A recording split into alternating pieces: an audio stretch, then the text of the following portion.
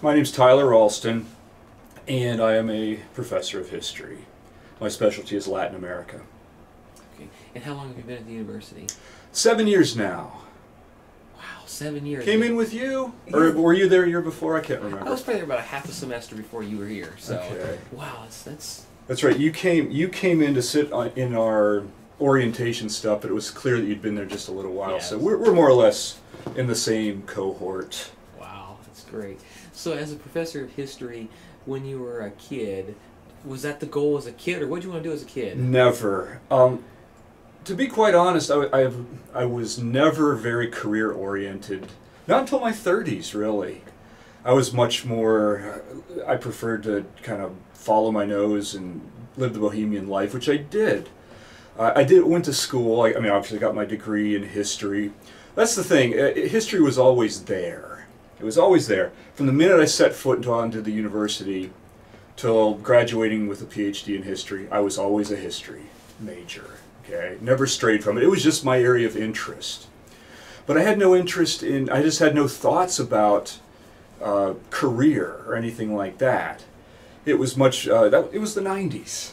It was a time you didn't really have to. I wouldn't recommend to young students today to follow the path I did. The times are just too different. But again, after I graduated college, I went to Mexico and lived there for a long time. Taught English in Mexico at, for corporate executives, for which paid a pretty decent fee. It, it, I could live in Mexico City for three years. And I, I, between that, I got a master's degree and all that. Just sort of just going from one step to another. But it was never never a thought of what I was going to do, or always a vague one.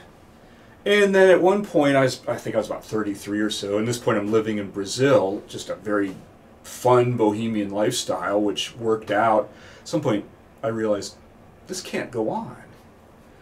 And so I decided I, I got to get back to school. And I did, and I entered into the University of Arizona in a Latin American history uh, PhD program, switched my focus to Brazil from Mexico from my master's program, and then got real serious. But it took a long time, okay? Hmm. And I mean, that's some people would listen to this and already be really jealous of your time in Mexico and Brazil, and just the idea of kind of exploring your own interests or just allowing life to kind of take you where it's at.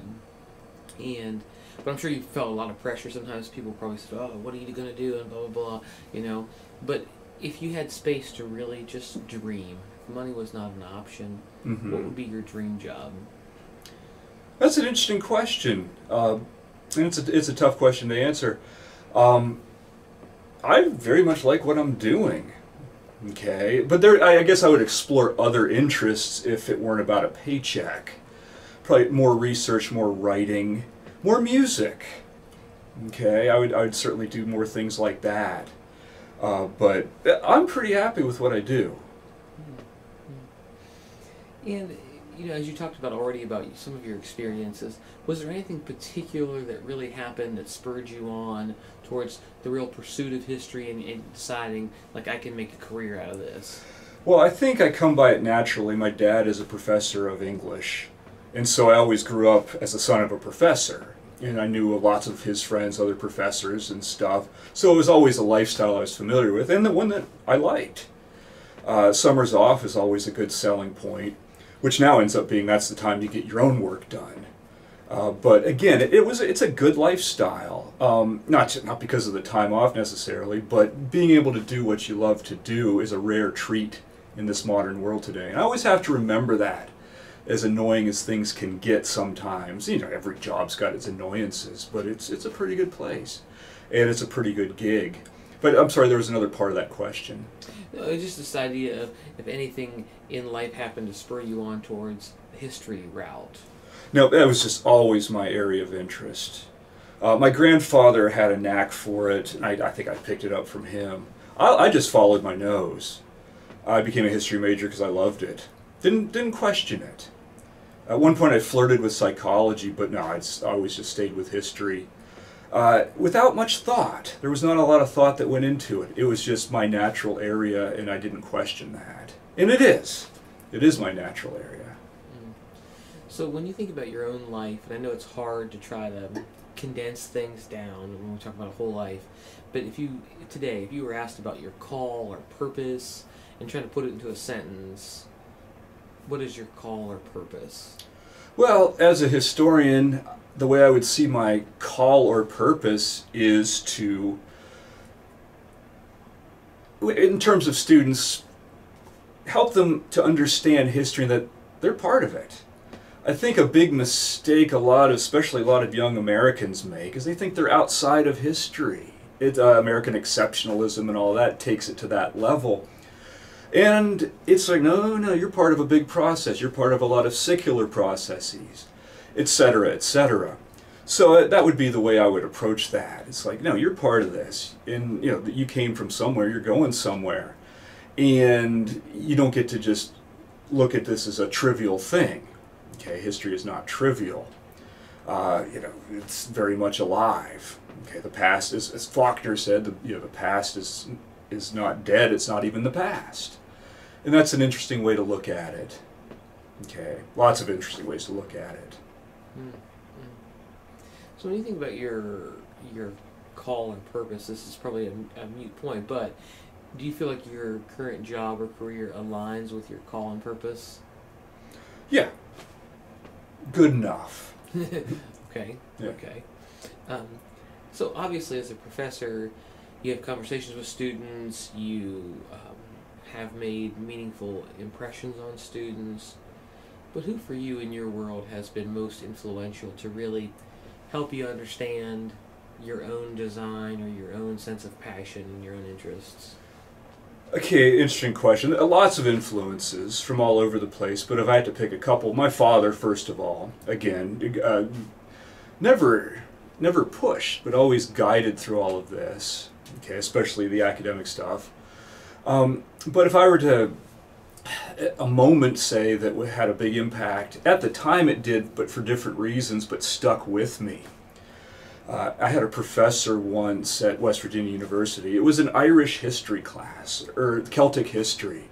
Um, and the guy was a total eccentric. Every other word out of his mouth was the f-bomb okay? It was and that's not why it, he was good that was it that was fascinating enough as a undergrad but it, he demanded a lot of students and at one point, his tests consisted of just do something, do something creative, give it to me. I want to. His his like, I want to be entertained.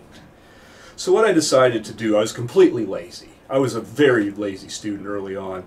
I just I said, all right, I'm going to write a letter from some yeah, some some per, some Celtic person living in Ireland, and it's written to a, a member of the royal family or something. I can't even remember what it was something along those lines. But it was so half-assed. It was like four lines long, and it just came back with a big fat F on it. And so I, I was shocked. I mean, why one is shocked at something like that, I don't know. But again, being a naive, naive 20 year old or 19 year old or whatever.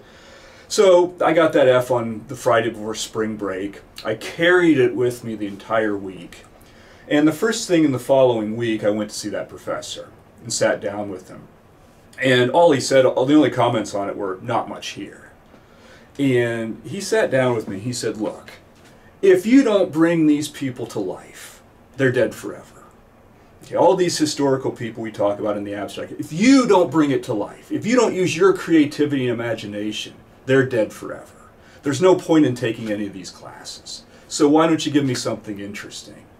So I rewrote the thing with it, it kind of it was a it was a watershed moment, and then I realized, geez, I used to be a creative person.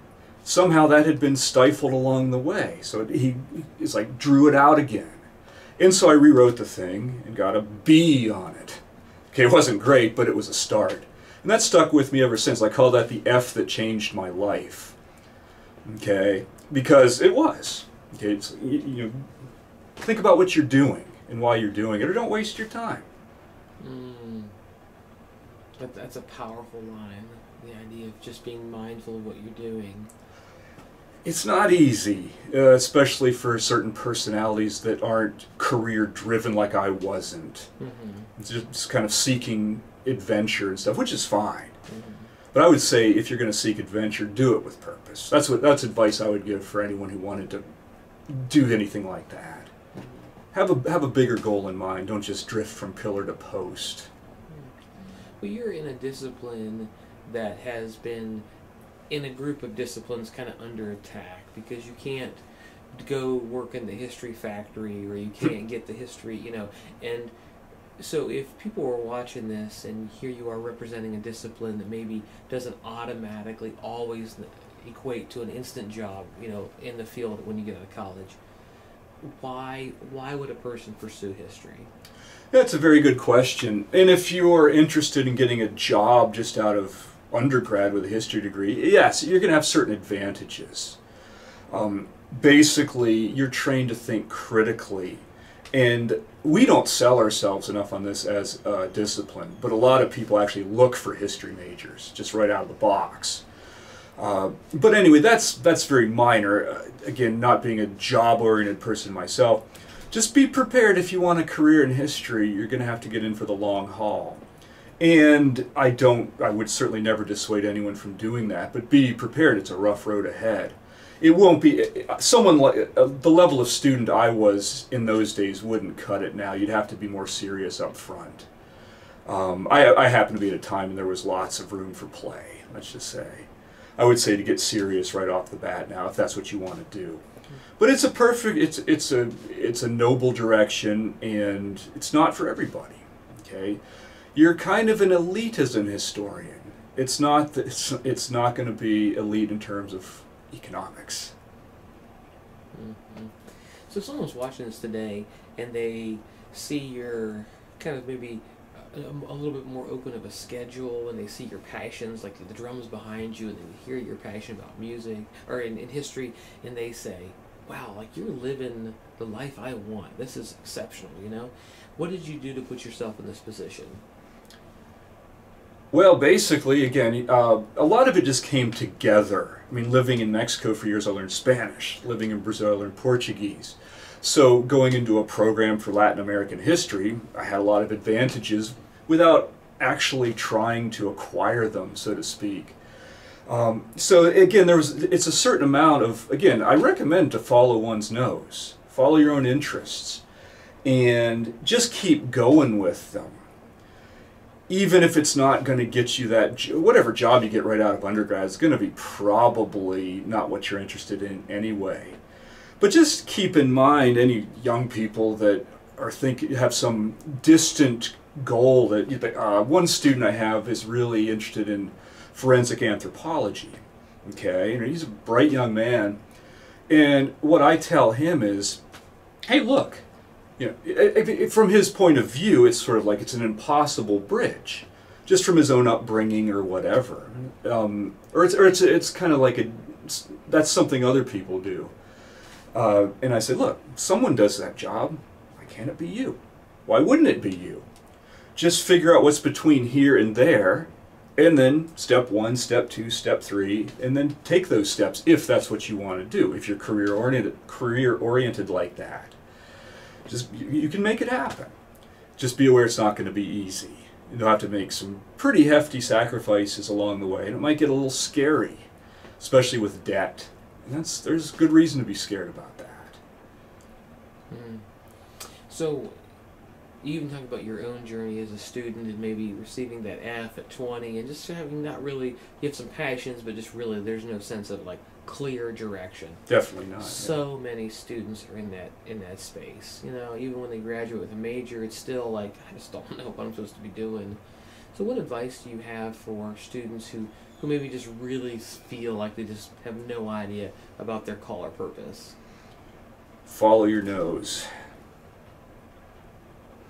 I think a lot of times the confusion comes from expectations that they should be doing this or should be doing that. Follow your nose. And yeah, I think you, you figure out where you want to go pretty quickly.